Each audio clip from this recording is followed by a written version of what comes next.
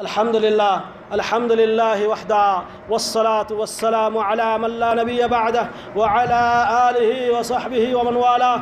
أما بعد فقد قال الله تعالى في كلامه المجيد بعد أعوذ بالله من الشيطان الرجيم بسم الله الرحمن الرحيم يا أيها الذين آمنوا اتقوا الله حق تقاته ولا تموتن إلا وأنتم مسلمون. وقال تعالى وقال تعالى يا أيها الذين آمنوا اتقوا الله وقولوا قولا سديدا يصلح لكم أعمالكم ويغفر لكم ذنوبكم ومن يطع الله ورسوله فقد فاز فوزا عظيما সম্মানিত বন্ধুগণ আল্লাহ রব্বুল আলমিনের বিদায় এই কেয়ামত যে হবে, এর ভয়াবহ অবস্থা খুবই কঠিন হবে। কিন্তু এই কেয়ামতকে অনেক মানুষ তারা কি করে? অস্বীকার করে। কেয়ামতের ভয়াবহতা সম্পর্কে ইনশাআল্লাহ আগামী জুমায় আবার আমরা বিস্তারিত আলোচনা করব। তবে এই কেয়ামতকে অনেক মানুষ অস্বীকার করে। কেয়ামতকে অস্বীকার করা জায়েজ নাই। কেয়ামত অবশ্যই হবে। কেয়ামতকে বিশ্বাস করতেই হবে। মানুষের মৃত্যুর পর থেকে নিয়ে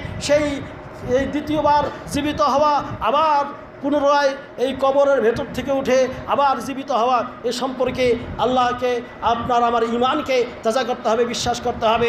মাটি থেকে আমাদের সৃষ্টি অহংকার করার কিছু নেই। যেমন আল্লাহ রব্বুল আলমী বলছেন, মিনহা খালাকনাকুম ওয়াফি হা নুঈদকুম ওয়া মিনহা নুখরিজুকুম তারাতান উখরা। এই মাটি থেকে তোমাদের সৃষ্টি হয়েছে এবং ওয়াফি হা নুঈদকুম এই মাটির মধ্যেই আমি তোমাদেরকে প্রবেশ করাবো। ওয়া মিনহা নুখরিজুকুম তারাতান উখরা। আবার মাটি থেকে দ্বিতীয়বার তোমাদেরকে পুনরুত্থান দিবস করা হবে, পুনরায় উঠতেই হবে, তাতে কোনো সন্দেহ নাই। সম্মানিত বন্ধুগণ, এই কেয়ামতের কঠিন অবস্থা, দ্বিতীয়বার আমরা যে উঠবো, এটাকে বিশ্বাস করতে হবে, মিথ্যা প্রতিপন্ন করা যাবে না। অনেক কাফের মুশরেক রয়েছেন যারা বলেন যে আমরা মারা গেলে সব তো শেষ হয়ে গেল, মারা গেলে তো শেষ হয়ে গেল, আমাদের হাড্ডি, শরীর সব কিছু মাটির সঙ্গে মিশে যাবে, কেমন করে? আবার আমরা উঠবো, কিন্তু আল্লাহ রব্বুল আলমিন তাদের কথাকে খণ্ডন করে বলতেছেন হ্যাঁ অবশ্যই উঠা হবে। যেমন আল্লাহ রব্বুল আলমিন একটি আয়াতে বলতেছেন যে, কেয়ামত তো তখন হবেই যখন ওই সমস্ত কাফেরদেরকে ওঠানো হবে যেমন আল্লাহ বলছেন আইজা মিতনা ও কুন্না তুরাবাউ ও তুরাবাউ আইজামান আইন্না লামাবউসুন আও আবাউনাল আউয়ালুন কুল নাম ওয়া আনতুম দাখিরুন فإنما هي جزرة واحدة فإذا هم ينظرون وقالوا يا ويلنا هذا আয়াতে সুরা সাফাতের ষোলো থেকে বিশ নম্বর এক এখানে আল্লাহ রব্বুল আলমিন বলতেছেন এই যা আমি তো না খুন্না তুরাবা যে আমরা যদি মারা যাই এবং মৃত্তিকায় আমরা পরিণত হই, ও আইজা আমান আমাদের হাড্ডিগুলি এবং শরীর সব যদি মাটির সঙ্গে মিশে যায়, আইন্না আলামা আমরা কি আবার পুনরায় দুনিয়াতে জীবিত হব? আওয়া আবা উনাল এমনকি আমাদের বাপদাদারাও কি আবার তারাও উঠবেন, জীবিত হবেন? কুল, নাম, আল্লাহ বলতেছেন, বলুন, নাম হ্যাঁ অবশ্যই ওয়ান্তুম দা খেরুন হ্যাঁ অবশ্যই তোমরা সেদিন উঠবে এবং অনেকে লাঞ্ছিত হবে। যারা এটাকে অপমান মানে যারা এটাকে অবিশ্বাস করবে যে না, উঠতে হবে না, তারাই লাঞ্ছিত হবে। ওয়ান্তুম দা খেরুন আল্লাহ বলতেছেন, ওটা একটি মাত্র প্রচণ্ড শব্দ, একটা আওয়াজ মাত্র হবে। হওয়ার সাথে সাথে তোমরা আবার সেখান থেকে পড়তে থাকবে যে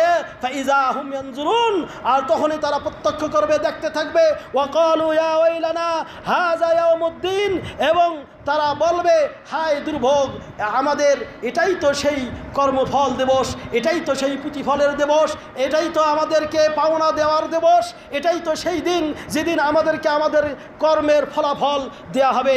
এমনকি আর একটা আয়াতে বলতেছেন, আল্লাহ বলতেছেন, ইয়াকুলুনা ইন্না লামারদুদুনা ফিল হাবিরা আইজা কুন্না ইযামান নাখরা ক্বালু তিলকা ইযান কাররাতুন খাসিরা ফাইন্নামা হিয়া জাজরাতুন ওয়াহিদা ফাইযা হুম বিসাহিরা সূরা নাজিআতের মধ্যে আল্লাহ রব্বুল আলামিন বলতেছেন যে তারা বলে, আমরা কি পূর্ব অবস্থায় প্রত্যাবর্তিত হব? মানে আগে যেমন সেই মানুষ আমাদের জীবন ছিল দুনিয়াতে মারা যাওয়ার পর আবার কি এইরকম হব? আল্লাহ বলতেছেন যে হ্যাঁ অবশ্যই হবে। তারা এই কথা বলবে যে আমরা কি আবার সেই সর্বনাশের থেকে প্রত্যাবর্তিত হব? আল্লাহ বলতেছেন আইন্না কুন্না ইজামান নাখরা, কালু তিলকা ইজান কাররাতুন খাসরা, ফা ইন্নামা হিয়া জাজরাতুন ওয়াহিদা। হ্যাঁ এটা একটি মাত্রই শব্দ। যেটা যার ফলে তোমরা আল্লাহ রব্বুল আলমিনের এই ময়দানে আবির্ভূত হবে, তাতে কোনোই কি নাই, সন্দেহ নাই। সম্মানিত বন্ধুগণ, এরকম কেয়ামত সম্পর্কে অনেক কথা কোরআন এবং হাদিসে এসেছে। আসুন সেই কেয়ামতকে আমরা অস্বীকার যেন না করি, এটাকে যেন বিশ্বাস করি এবং এটার উপর বিশ্বাস করে নিজেদের আমলকে যেন চাঙ্গা করি। আল্লাহ রব্বুল আলমিন এই তৌফিক যেন আমাদের সবাইকে দান করবেন আমিন। ইনশাআল্লাহ আগামী জুমায় আমরা কেয়ামতের কঠিন ভয়াবহ অবস্থা সম্পর্কে কিছুটা আলোচনা করব। আল্লাহ যদি তৌফিক দেয় ইনশা আল্লাহ তালা আল্লাহর কাছে কামনা করি। আল্লাহ, তুমি আমাদের যাবতীয় গুণাগুলি মাফ করে দাও।